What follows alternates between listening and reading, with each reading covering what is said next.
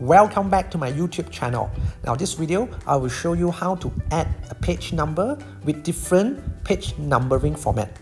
Now before that, I'm going to enable two page view under the three dots menu. Okay, there you go. Now under three dots menu, you can easily detect anything's wrong with your title. Okay, how to disable it? You choose screen view under the same three dots menu. Again, over right hand corner, upper right hand corner. Okay, I'm going to use two page view throughout the whole video. Now two page view and also navigator enable me to detect any things wrong with my formatting. So you see my cover page earlier.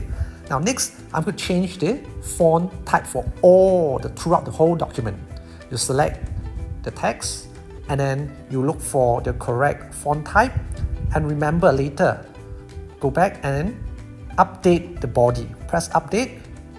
There you go. So all the body will have the same font type. Now next, you go to the three dots menu again, look for document option and look for document setup here.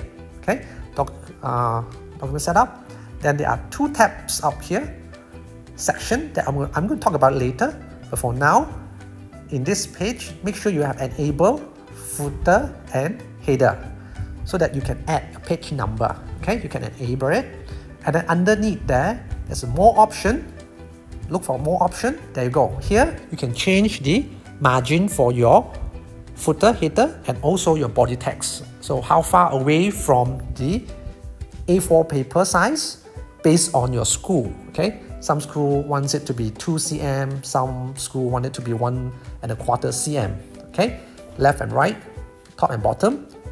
You just need to check with your school what's the requirement. Okay, um, maybe I'll set it 1.5 or 2 cm. Okay, and then once you are satisfied with the uh, margin, then you can click on the uh, header. Here, there are a few ways to add uh, insert page number. Okay, is one way. Another way it's uh, look for, press on the right hand side and insert. You have more option to insert or over the right hand side down here, there you go. You can actually choose uh, more option like for example, page number or date and time. Okay, I'm going to choose one, choose this one. And then um, if it's first time watching a video, kindly subscribe to my channel, City Boy Liew. Next, I'm going to show you how you can change the font type. Now, here, just now, you cannot just type a number there and you thought you have added the page number. It doesn't work that way because there are some program running behind the shortcut key earlier. So you're going to use this method. And remember to update the font type here for the header and footer. Okay, make sure you press update. You can change the size and update the header and footer format so that you apply across all pages. You do not need to change it page by page. Once you have satisfied with the margin and the font type for your header and footer, you press done over the upper left hand corner. Now, next, now you see here, my footer header will have the same page numbering format. Now, if I want it to be different, okay, I want to have different formatting. So what you do is, you go to the last line and you press insert and then you look for section break. Okay. Now, alternatively, you press backspace, press this uh, add button, and look for section break.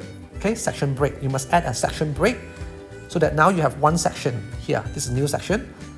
Now the you realize the footer page number changes.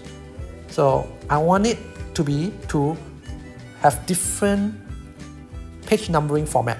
Okay, upper right hand corner, three dots, page setup, and then look for section. Okay, there you go. Then here, page numbering, you may want to hide from the first page or not, it's up to you. I want you to look at page numbering. Select page numbering. Here you can choose different format. You want to start at 1, 2 or you continue from previous. Let's choose a different formatting now. And there you go. So you have page number by using different page numbering format. Okay, what you need to do, you need to add a section in your document, not page break, okay, section. Remember to subscribe to my channel and press the bell button so that you get notified when I upload new video. That's all from me. Thank you.